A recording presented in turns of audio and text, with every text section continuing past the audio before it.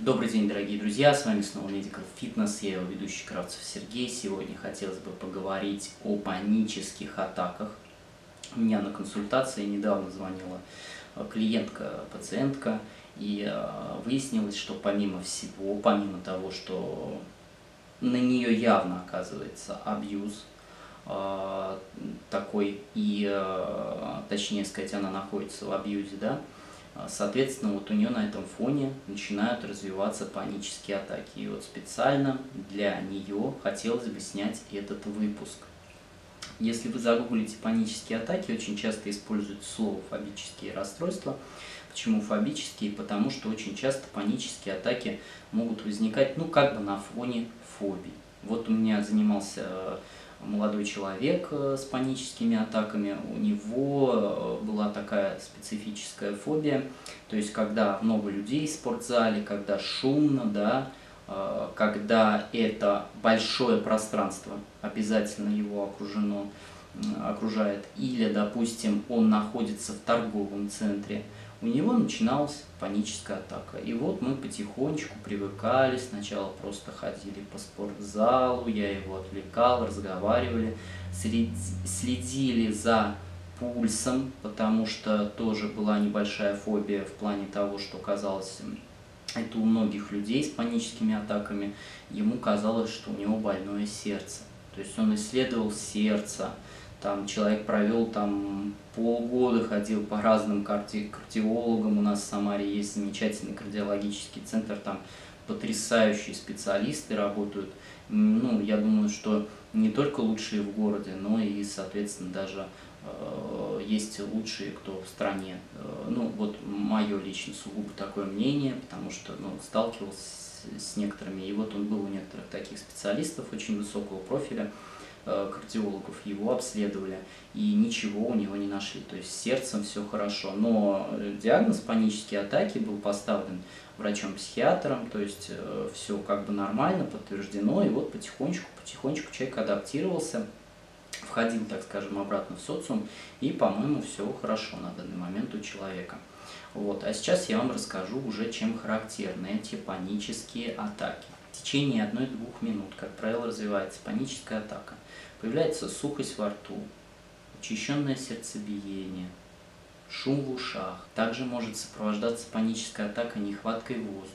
Наступает головокружение. Также больные очень часто верят, что у них существует какое-либо нарушение работы миокарда. В некоторых случаях может быть нарушение работы ЖКТ. Также при панических атаках мне встречались пациенты, у которых наблюдался синдром раздраженной кишки или там синдром раздраженного кишечника правильно все-таки синдром раздраженного кишечника, я думаю.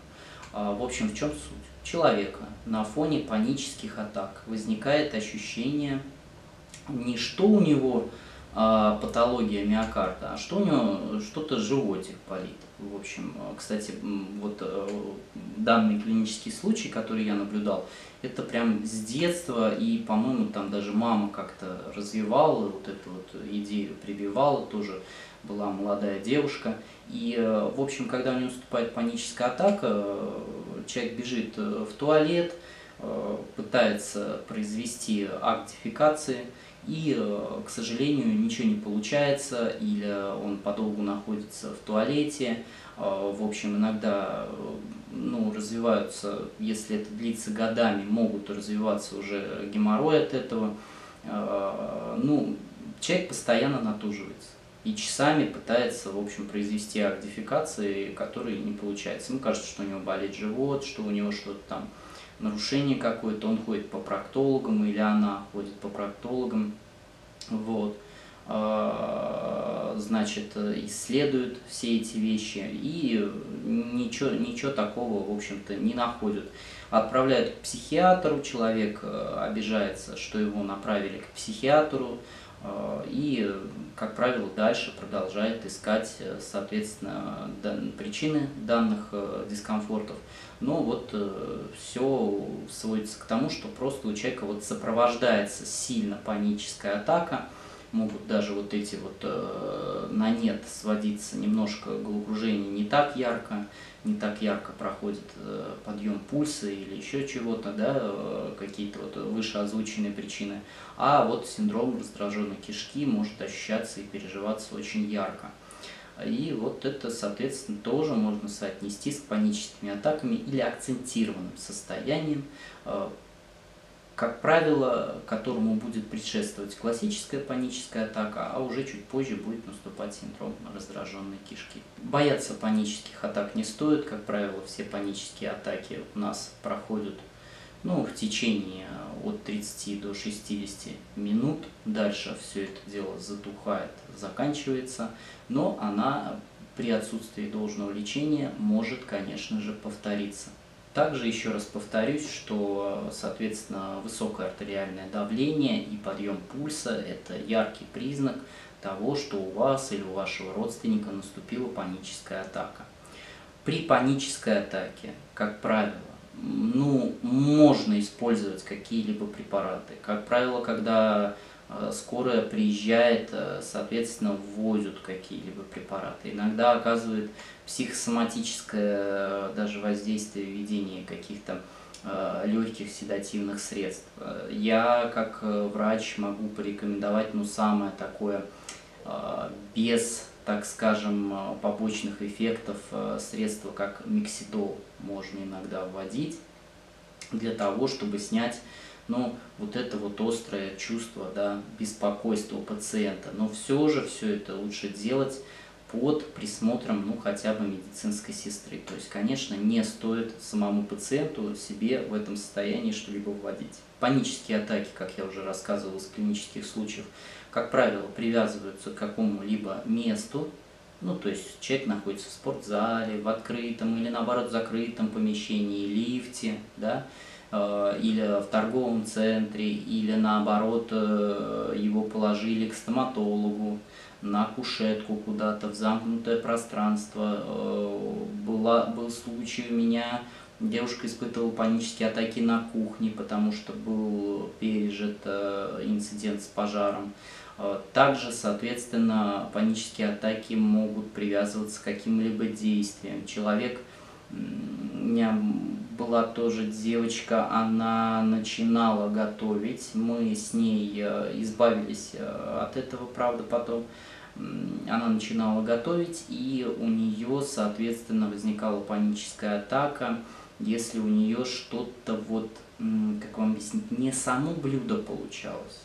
Она роняла ложку, у нее э, там, ну, что-то вот как-то тесто, она говорила, когда на блинчики она как-то там готовит, выливает, и вот оно заворачивается, и, соответственно, у нее вот случалось э, такая вот э, повышение, да, АД и э, паника, это было связано с э, пережитым, ну, в общем, там, физическим насилием, ну, в детстве, там, в каком-то подростковом возрасте очень сильно там кто-то ее там стукнул за это из близких э, родственников, что она там вроде как неряшливая какая-то. И вот у нее наступало вот такое вот переживание, значит, когда она уже, ну, она была молодой достаточно, 20 лет, и, соответственно, вот э, так реагировала иногда, когда пыталась просто себе приготовить пищу.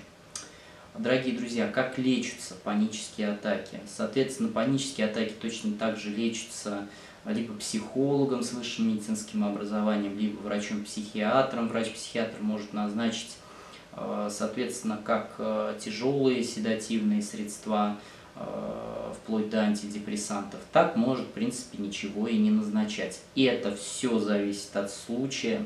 Не получится у вас у самих лечиться через интернет, особенно если вы решили употреблять какие-либо там вещества для снятия э, вот этой панической атаки. Очень плохая идея назначать себе что-либо самостоятельно. Обязательно проконсультируйтесь с врачом.